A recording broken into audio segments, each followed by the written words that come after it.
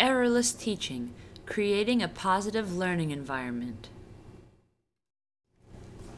When we taught Ethan the picture exchange, we used the most to least prompting hierarchy.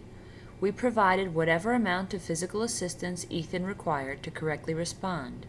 We faded our physical assistance as quickly as Ethan would let us, until his communication was spontaneous and independent. We address our language teaching with the same philosophy. We give Ethan full verbal prompts as he learns a new language skill. Are you thirsty? Say yes. I want ba. Say yes, I want ba.